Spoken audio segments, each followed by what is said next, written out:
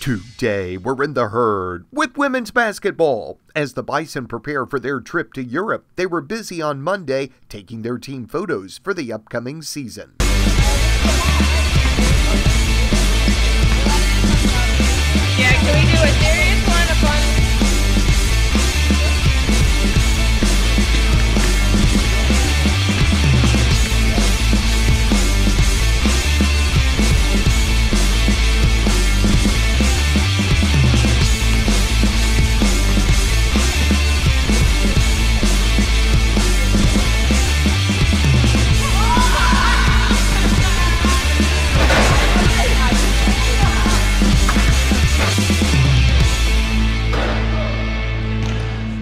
Coach Aaron Roussell says that one of the stops for the team is Germany, and that's going to make this trip really special for him. I was actually born in Berlin. Both my parents were in the service and, and really haven't been back there for 35 plus years.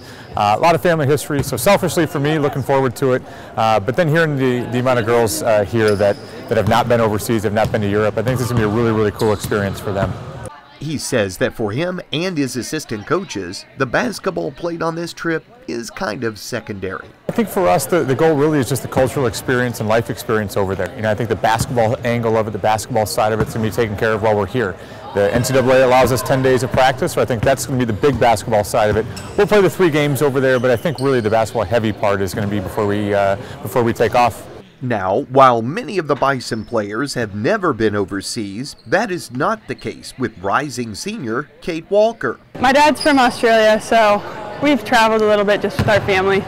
But she says the neat part about this European trip is sharing the excitement with all of her teammates. Well, I know a few girls haven't been overseas before, so they're super pumped and we're excited to get to experience it with them for the first time. Um, and then just as a team, I think it's going to build a lot of chemistry and everyone's super excited for the opportunity. The team will be traveling from Berlin, Germany to Prague in the Czech Republic before wrapping up the trip in Vienna, Austria.